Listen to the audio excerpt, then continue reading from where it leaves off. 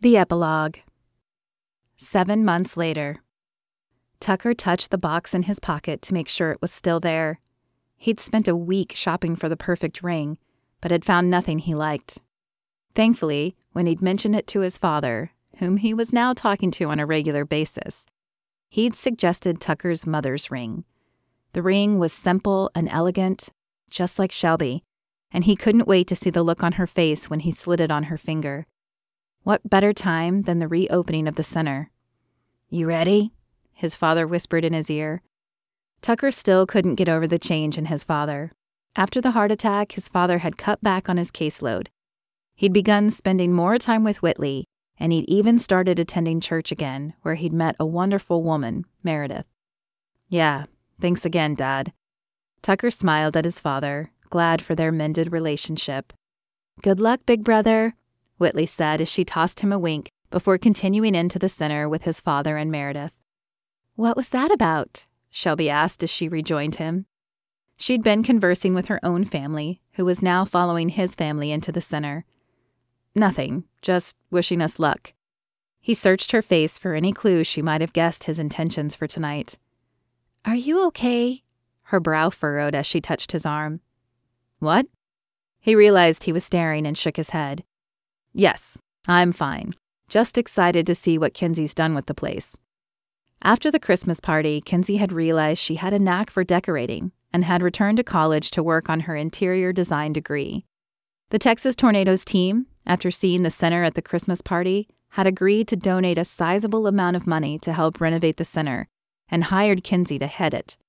It had been a rush renovation because they couldn't close the center too long, but a local church had offered to let them use its building until the work was completed. Tonight would be the first time Shelby and Tucker would get to see the results. I'm sure she did an amazing job, but don't you think we're a little overdressed? Her hand slid down the side of her dark blue evening gown as if she could smooth out the nerves she was feeling. Kenzie had planned a formal reveal. She'd gotten several wealthy families and business owners to attend by connecting the reveal to a donation dinner. Tucker turned to her and took her hands. We're not overdressed, Shelby. This is a huge deal, and there are going to be a lot of eyes on you. You just need to remind yourself how amazing you are. A soft pink glow raced across her cheeks, making her even more beautiful. Thank you, Tucker. I just. I feel very out of my element. Ha! Well, now you know how I felt working at the center when I first started. Tucker had been completely out of his element but he wouldn't change it for the world now. Not only had he met Shelby and the amazing kids, but he had learned to value the important things in life, things like family and love. His hand touched his pocket again. He couldn't wait to propose to her. Her shoulders rose and fell with her deep breath. Then she tossed him a smile and lifted her chin. Okay, I'm ready.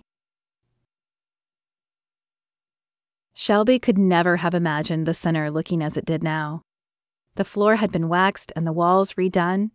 Instead of the sad, faded cream walls, they were now filled with kids' artwork and exploded with color. The carpet in the office and hallways had been replaced, as had the computer in the reception area. It almost looked like a brand new building. Tables covered in white tablecloths filled the gym area, and decorative candles and flower arrangements added pops of color.